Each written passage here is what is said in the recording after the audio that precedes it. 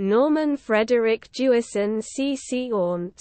Born July 21, 1926, is a Canadian retired film director, producer, screenwriter and founder of the Canadian Film Centre.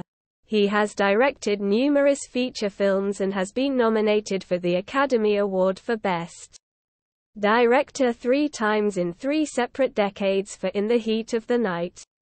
1967, Fiddler on the Roof, 1971, and Moonstruck, 1987. Other highlights of his directing career include The Cincinnati Kid, 1965, The Russians Are Coming, The Russians Are Coming, 1966, The Thomas Crown Affair, 1968, Jesus Christ Superstar, 1973. Rollerball. 1975. FIST. 1978. And Justice for All. 1979. A Soldier's Story. 1984. Agnes of God. 1985. Other People's Money. 1991. The Hurricane. 1999.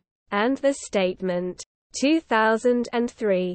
Jewison has addressed social and political issues throughout his filmmaking career, often making controversial or complicated subjects accessible to mainstream audiences.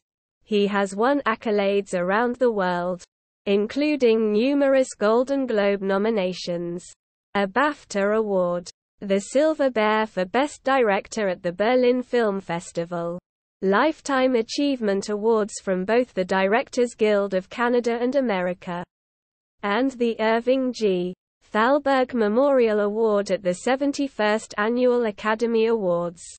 In 2003, Jewison received the Governor General's Performing Arts Award for Lifetime Artistic Achievement for his multiple contributions to the film industry in Canada.